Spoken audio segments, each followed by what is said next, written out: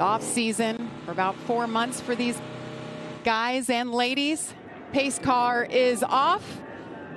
The three car on the inside will lead them as the green flag waves in the air. We are racing at Daytona.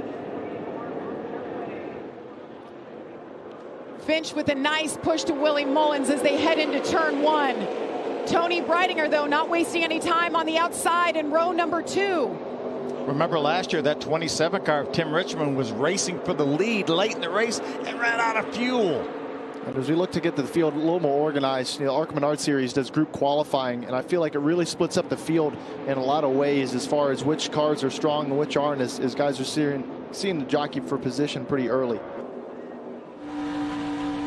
Greg Van Alst making moves early. Oh, oh trouble already. And we've got Toni Breidinger around the 25, and they're wrecking all over the place. Shane Caution is out. Well. Yeah, S SVG is in that as well. Shane Van Gisbergen had to run this race to be able to race in the Xfinity race, so this will be interesting to see what the officials say. I think Tanner Gray and the Gibbs number 18 was also in that. Jeff Schofield in the 07 we see there.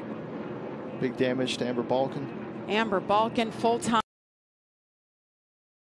I think that's Ed Pompa in the number 10 car for Andy Hillenberg.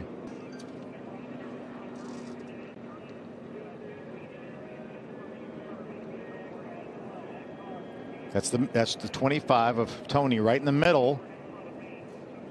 Let's see if she gets squeezed. So I, I think the O2 got a got a push there and wiggled down the racetrack, and then they just kind of squeezed and touched on corner entry to one. Uh, just really tough part of the corner. The car is really light, and uh, obviously a, a, small push when you're racing that close, you know, only a few inches door to door, uh, generates some contact. Yeah, and the majority of these cars that involve nothing, nothing they could do. There, Toni gets into the 97 of Jason Kitzmiller. And everybody else is just checking up, trying to miss yeah. it. I mean, half doing their best to try back. to miss it. See the 28 on the right Ooh. side of your screen spinning around. That's Shane Van Gisbergen. Here's a Sioux Chief on board for Toni Breidinger.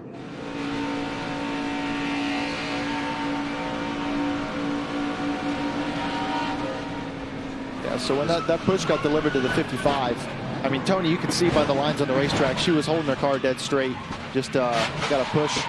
That O2 car came down the racetrack and, and shoved her into the inside lane, and then everyone else is involved. And, and, it was really cool reading some of Marco's interviews about why he wants to be in this series. He's he's raced on some of the biggest stage. Ooh, big accident with uh, one of our already damaged cars. Yeah, Mandy, yeah. Mandy Chick. She had a top five finish here last year. Was involved in an accident. More than likely, probably a tire rub from some damage from that earlier wreck. Tough, tough break for Mandy, though. So Mandy Chick brings out the third caution of this race. That is a tough break. I feel like this race last year, we talked so much about her and her yeah, background. such a great run. Get the window net down. obviously uh, seems to be all right. Talking with the safety workers. It's a good sign. Working lap 21 of 80 here. Engineering student at Rose-Hulman. Engineering. Fighting engineers. Mm -hmm. Let's take the first look here, exactly what happened with Mandy Chick. Yeah, I think similar to what you said, Phil. Probably had a had a tire go down and saw all the debris on the racetrack, probably from where that tire went down. Crush panel, all, the whole rear fender's gone on that car. Really at all throughout the field. So I think you got the fastest. Oh fastest no! Cars. Oh gosh, we got Christian Rose. Christian trying Rose. to hang on to it. Can he save it? They're avoiding him all around. What a time you can keep it off the wall here is a job well done for Christian Rose. Without a doubt. That's a tough spot being turned sideways in the trioval. And caution comes out. This is the scheduled oh, caution. Oh, and we have cars all the way around as the caution came out. That's Willie sitter. Mullins, the pole sitter going around. Dale Quarterley, the four, Leland Honeyman and the 0-2. Got a couple others back there involved. Somebody stopped on the track. Can't really see the number there. That's the 13 car right there. That's that's Armani Williams. Armani was involved in that first incident, but recovered. And Marco Andretti got caught up in that. We've got Marco Andretti already spun all the way at the top of the field. comes down in Dale Quarterley, and uh, other cars just dodging the miss and locking down brakes. Uh, I wonder what further back, probably exit exited turn two, how uh, how Marco got uh, got turned sideways. Doesn't look like Leland Honeyman had much damage. You see that's Patrick Emmerling, the blue and white car behind Marco. This is about the time the caution is going to come out. I'm not sure it's out yet. Yep, you saw it on the, Did you? the Okay, wall right so the there. caution Yeah, is out, but I'm not sure anyone had backed off yet. They, they looked really stacked up in that outside lane. I don't know if the, the, the couple leaders were backing up, but you know Marco was really tucked up. I believe that was the 55 at Gus Dean. I think he was trying to stay off of him, and whether if that's due to the fact that Marco doesn't really have a rear bumper anymore, you know, is, is that what makes that push go so bad, or is it just that big of a run? Kind of hard to tell from the from the front facing angle, but either way, um, yeah, hooked Marco in front of the field. I think there might have been a little bit of a touch there from Yeah, from Armani Williams. Add it to the list of don't push here. Yeah. Uh, wow, what a good save. Look how much steering he's got in that thing. On board here from, from Lavar Scott. I mean, he is. That reminds you of that Kyle Busch save. I don't know if it was 2015 or When he won like the that. clash. When yeah, he won the yes. clash. I mean, he is. I mean, look look at the tire tracks he's leaving. He's he's more than 45 degrees sideways. And Big Willie never got out of the gas. He's standing on that thing. I uh, I I think it all depends on how long this outside lane stays in. We've got two really really fast cars. go. And got a spin in around the goes back. the 99. That's Michael Melting the Maples. wall.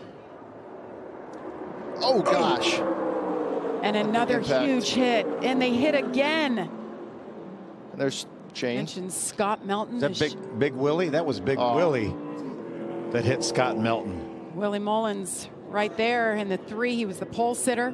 Looked like he he was he hit him really hard, and then it looked like it hung the throttle wide open almost, and Gets pretty wide coming off the corner and just, just loses gets it. loose. Got just got loose. He's got something sparking back there. I, I think he had some sort of an issue where he lost the back of the car because he was kind of tracking up the racetrack all the way on the exit of the corner by himself, and then obviously collects uh, kind of a bystander there in the in the 69 car, and, and really Mullins hits a ton in the back of that car. And it's hard to see it from this angle, but there was a lot more smoke than it looked like, probably from from the angle that we were looking at it. So Willie was probably in that smoke. So violent. You see hard that hit. impact.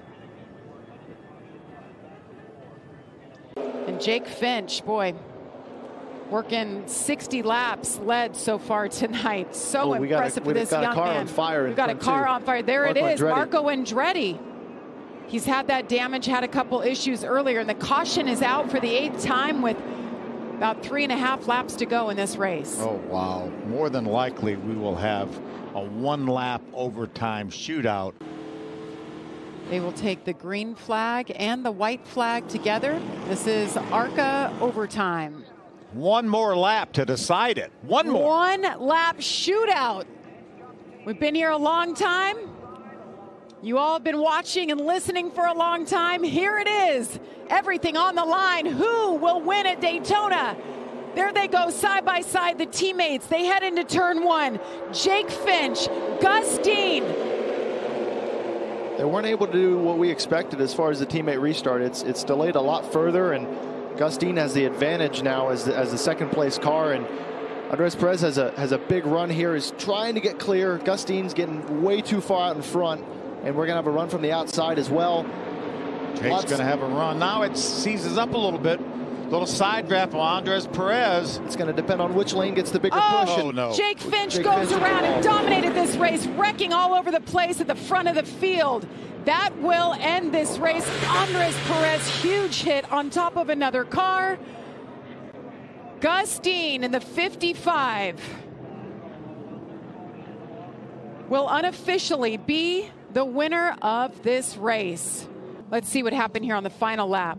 just a lot of pushes, and there was a lot of momentum coming back to that third row, and uh, that outside lane started it, and uh, yeah, just a lot of pushing and shoving.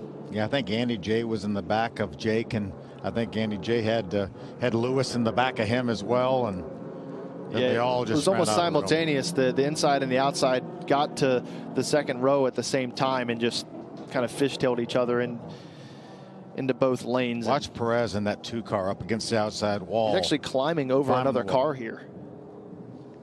And he like stays mounted on top That's of the Andy, 73 Andy car. Jay's car. Is that Armani Williams? It is. It The 13. What an impact for Jake Finch. Led 66 laps tonight, only to go straight into the wall on the final lap. Here's another look. Yeah, Jake's just going down the straightaway, and they start pushing and shoving there, and Should be good on onboard view here from uh, from Perez coming Mm-hmm. up as he's he's obviously the car that's He's on top on of Andy top of the Jankowiak's 73, yeah. car. could be a wild ride.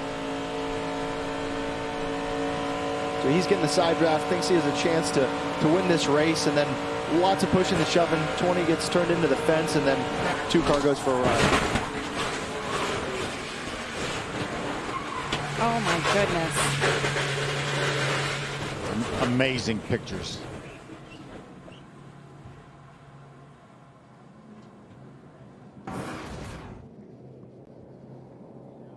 There he is. Fought so hard. Gus Dean drove a great race. Brings it home for his grandfather, who he just lost his best friend a couple of weeks ago. Said he's going to race and win for him, and he does it.